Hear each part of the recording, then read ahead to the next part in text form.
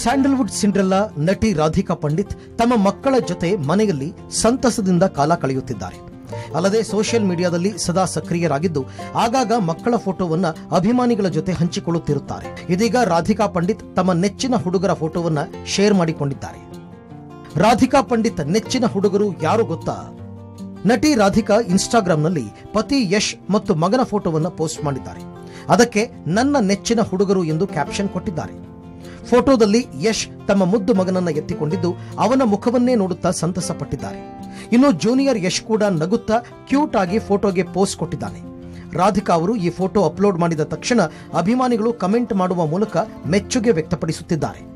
Sandalwood rocking ದಂಪತಿ ತಮ್ಮ ಮಕ್ಕಳ ಫೋಟೋವನ್ನ ರಿವೀಲ್ ಮಾಡಲು ಬಹಳ ಚೂಸಿಯಾಗಿರ್ತಾರೆ ಈ ಹಿಂದೆ ಮಗಳ ಫೋಟೋವನ್ನ ಬಹಳ ದಿನಗಳ ಬಳಿಕ ರಿವೀಲ್ ಮಾಡಿದ್ರು. ಅದೇ ರೀತಿ ಜೂನಿಯರ್ ಫೋಟೋ ಕೂಡ ರಿವೀಲ್ ಮಾಡಿದ್ರು. ಯಶ್ ಮನೆಗೆ ಜೂನಿಯರ್ ಯಶ್ ಆಗಮಿಸಿ ಆರು ತಿಂಗಳು ಪೂರ್ಣಗೊಂಡ ಈ ಹಿನ್ನೆಲೆಯಲ್ಲಿ ಏಪ್ರಿಲ್ ಮೂವತ್ತರಂದು ಯಶ್ ಹಾಗೂ ರಾಧಿಕಾ ಅಭಿಮಾನಿಗಳಿಗೆ ಜೂನಿಯರ್ ರಾಜಾ ಹುಲಿಯ ದರ್ಶನ ಮಾಡಿಸಿದ್ರು. ರಾಧಿಕಾ ಪಂಡಿತ್ ತಮ್ಮ ಇನ್ಸ್ಟಾಗ್ರಾಂನಲ್ಲಿ ಮೊದಲ ಬಾರಿಗೆ ತಮ್ಮ ಪುತ್ರನ ಫೋಟೋವನ್ನು ರಿವೀಲ್ ಮಾಡಿದ್ದು, ಜೂನಿಯರ್ ಯಶ್ಗೆ ನಿಮ್ಮೆಲ್ಲರ ಪ್ರೀತಿ ಮತ್ತು ಆಶೀರ್ವಾದ ಬೇಕು ಅಂತ ಬರೆದುಕೊಂಡಿದ್ರು. ಅದೇ ರೀತಿ ಯಶ್ ಕೂಡ ತಮ್ಮ ಮಗನ ಫೋಟೋವನ್ನ ಸೋಷಿಯಲ್ ಮೀಡಿಯಾದಲ್ಲಿ ಅಪ್ಲೋಡ್ ಮಾಡಿ, ನಿಮ್ಮ ಪ್ರೀತಿ, ಆಶೀರ್ವಾದ, ಹಾರೈಕೆ ಸದಾ ನನ್ನ ಈ ಪುಟ್ಟ ಕಂದನ ಮೇಲೆ ಇರಲಿ ಅಂತ ಬರೆದುಕೊಂಡಿದ್ರು.